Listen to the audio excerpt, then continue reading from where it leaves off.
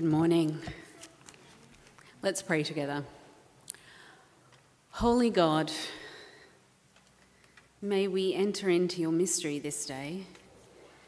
May we feel your love and joyful presence, we pray. Amen.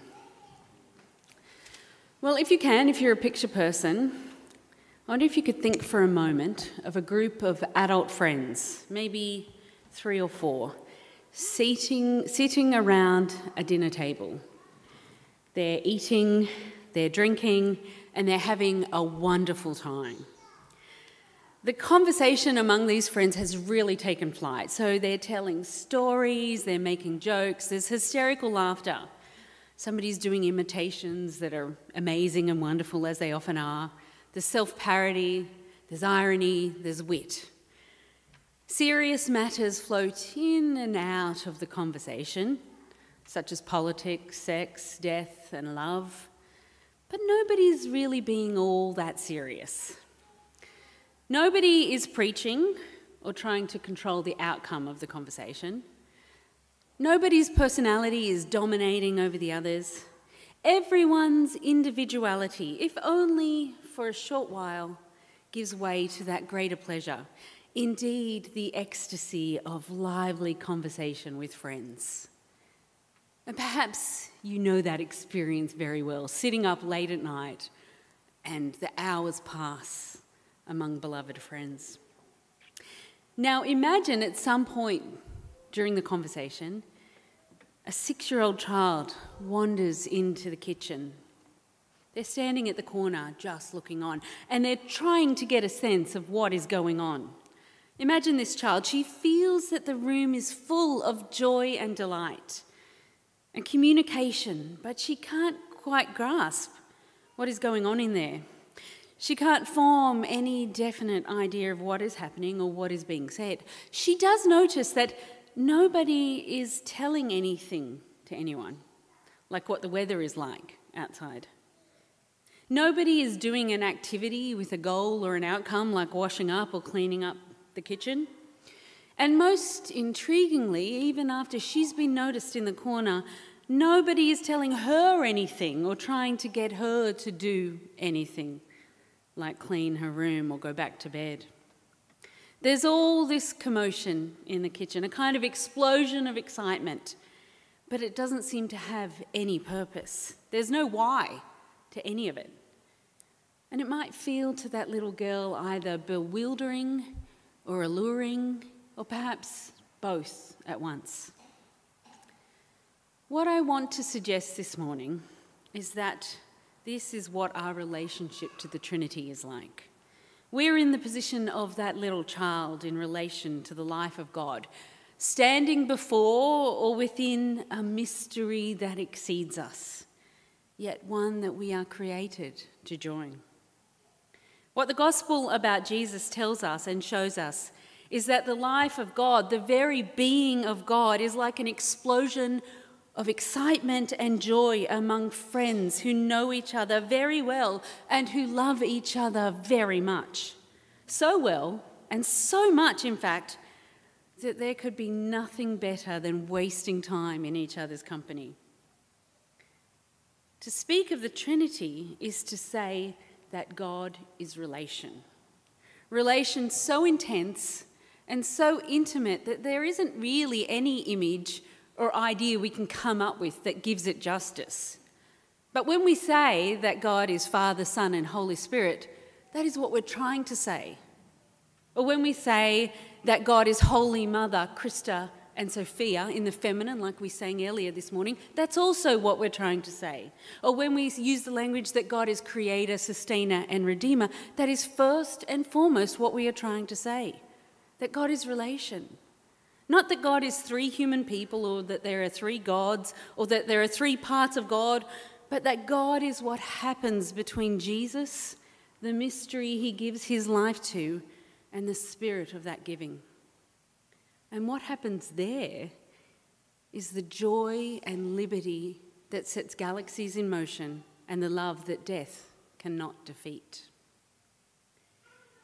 The reading this morning from John's Gospel speaks of a liberty that was with God at the beginning of all things, a liberty through which God makes and sustains all things.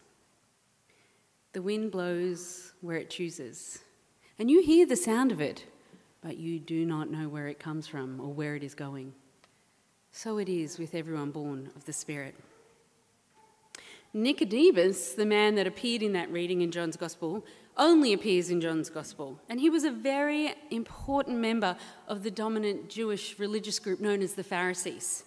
He was a member of the legal body called the Sanhedrin, who were the judges and rulers over Israel. So he's a kind of judge.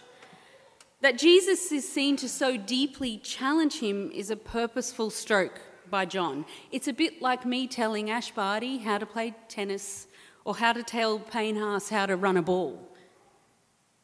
Now, Nicodemus is very, very wise then. So when he responds to Jesus, how can anyone be born, of, born after having grown old? Can anyone enter the womb a second time and be born again?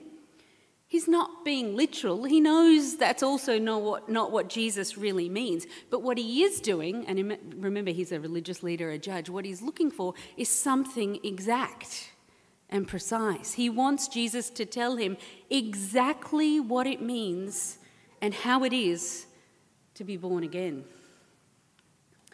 And yet, Jesus does not give him a formula or a scientific explanation. He gives him a mystery the joy and liberty of the Spirit. The wind blows where it chooses, and you hear the sound of it but you do not know where it comes from or where it is going. So it is with everyone born of the Spirit.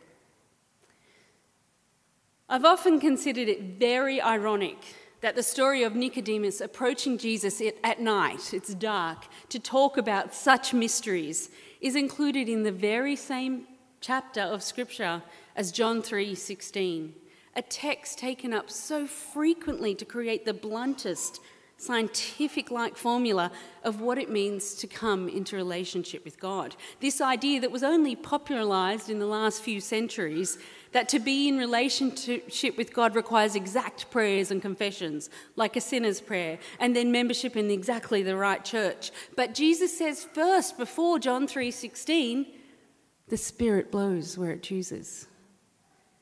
And you hear the sound of it, but you do not know where it comes from or where it is going. So it is with everyone born of the Spirit. And there's a double irony. That's not the only one in this text being chosen for the lectionary on Trinity Sunday, which in the Christian calendar is the very week after Pentecost. Pentecost being this event that's so often reduced by Christian churches as solely being the birthday of the church, as if Pentecost is to be entirely understood about the Holy Spirit creating churches around the world. The wind blows where it chooses, and you hear the sound of it, but you do not know where it comes from or where it is going. So it is with everyone born of the Spirit. Throughout the centuries of the Christian church, many thinkers have taken this passage in John chapter 3 to hint at what we now call the doctrine of the Trinity. And here we are on Trinity Sunday. They've read this text in John 3 alongside the first chapter of John's Gospel, which speaks of the Logos of the Word being with God at the beginning and becoming flesh, which parallels the role of Wisdom Sophia read for us from Proverbs chapter 8. And they read it alongside later verses in John's Gospel, particularly ch- chapters 13 through to 17, where Jesus prays for the same Spirit to make his followers one for that Spirit to draw us into the very life of God, for us to enter into the life of God.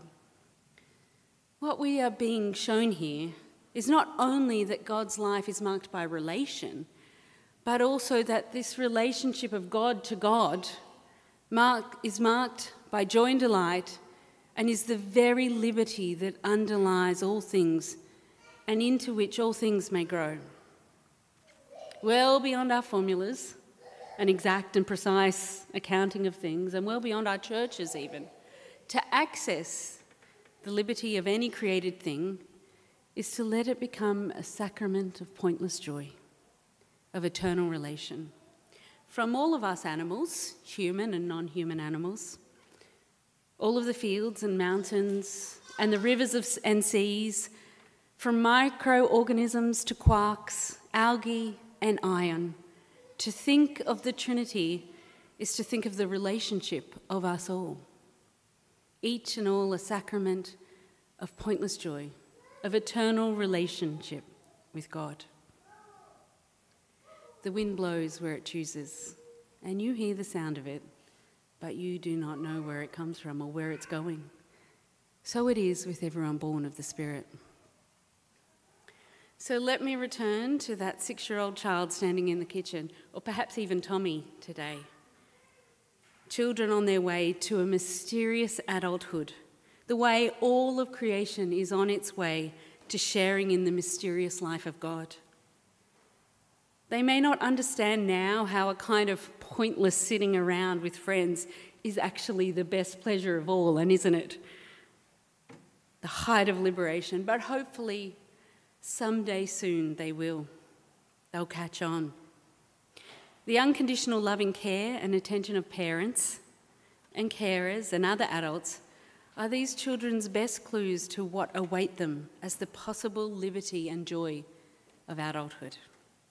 Likewise, the way Jesus loves us unto death on Good Friday, the way the Father returns him to us on Easter Sunday, and the way the Spirit inflames us with this love on Pentecost are great clues to what eternal life of God is and what we have been created to share in as his friends.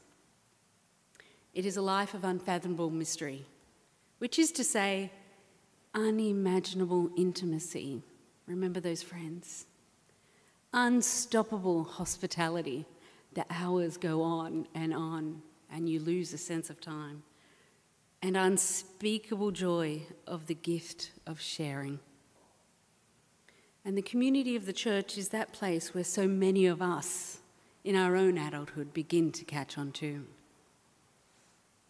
But the Spirit blows where it chooses, and you hear the sound of it but you do not know where it comes from or where it is going. So it is with everyone born of the Spirit. Amen.